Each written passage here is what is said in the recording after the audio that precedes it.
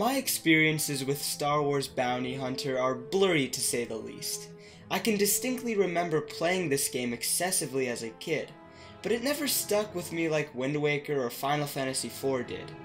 To be honest, I didn't even remember that the game was a third person shooter when I got around to playing it for the review. I also thought, going back in, that the story would revolve around Jango Fett's life as a bounty hunter, but instead, the game centers its story around his legacy on the clone army and the fate of the galaxy. I think we can all agree that the underground bounty hunter community in the Star Wars universe is one of the coolest concepts. The bounty hunters of Star Wars are straight up badasses. That's why I'm really thankful that they're well represented in the video games. You got Calo Nord from KOTOR, Boba Fett's appearance in the Battlefront games, which we already covered last year, and now a game dedicated to Jango Fett himself. At the game's start, the Emperor tasks Count Dooku with finding a worthy candidate to essentially give birth to the clone army. So, Dooku takes an interesting initiative and places a bounty on his former apprentice to attract skilled bounty hunters.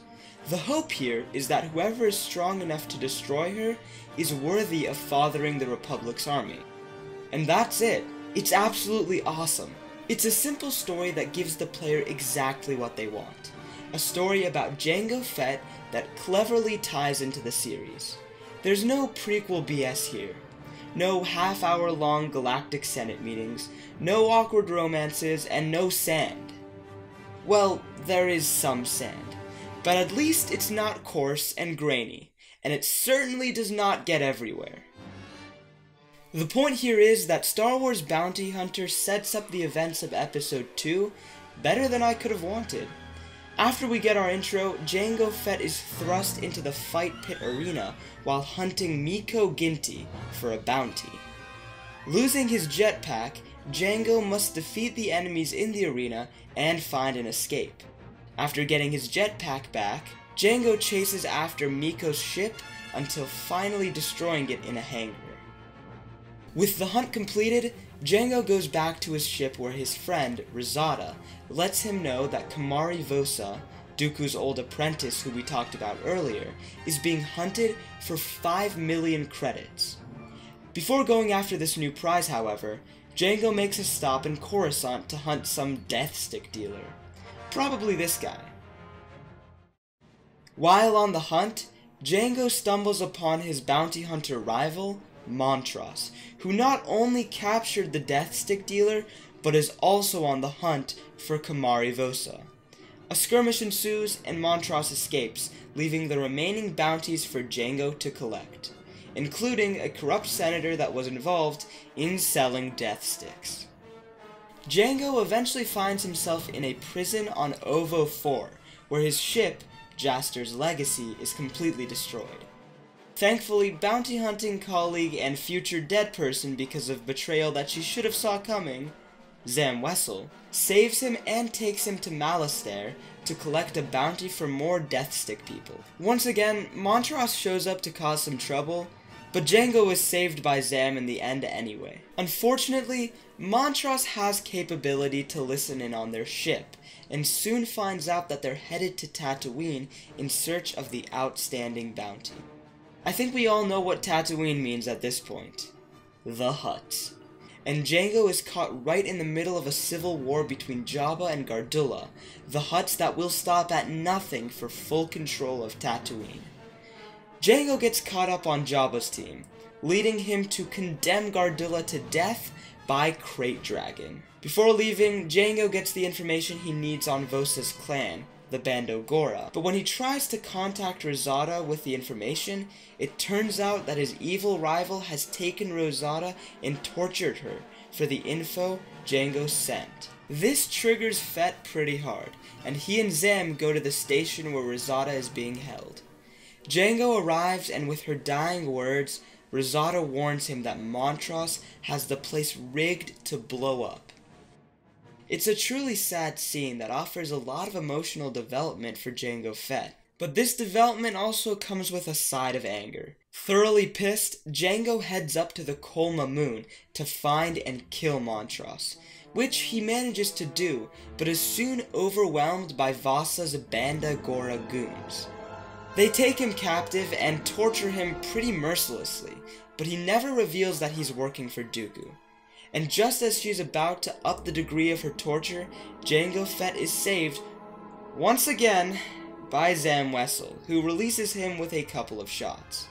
Vosa tries to run away, but is pursued by Jango, who gives her hell and gets her to the point of death. But in a surprising turn of events, Dooku ends up killing Vosa himself, and cuts Jango the galaxy altering deal to create the clone army. With everything in place for episode 2, Jango and Zam head back on the ship and the game ends.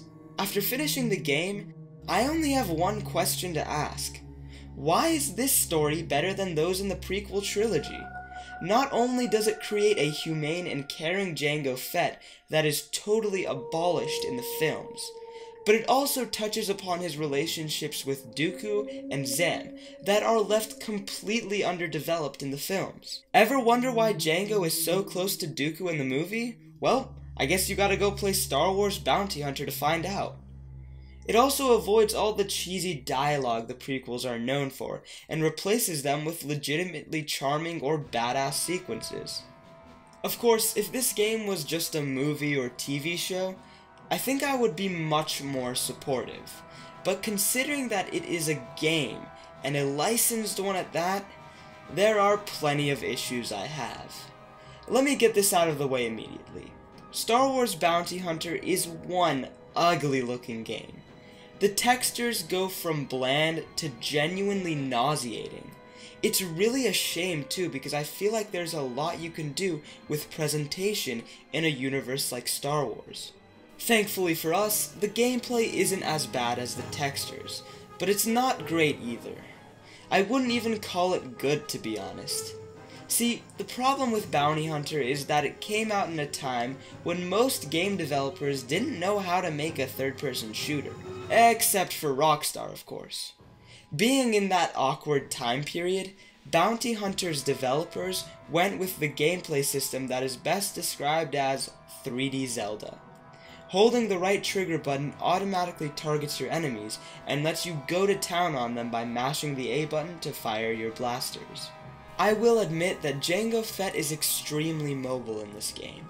While his jumps are a bit floaty, you get access to his jetpack within the first session of gameplay, and it is awesome. You can use it to reach greater heights, extend your jump, and float to places that are inaccessible otherwise. Another great part about Bounty Hunter is the inventory of gadgets that Jango Fett can use.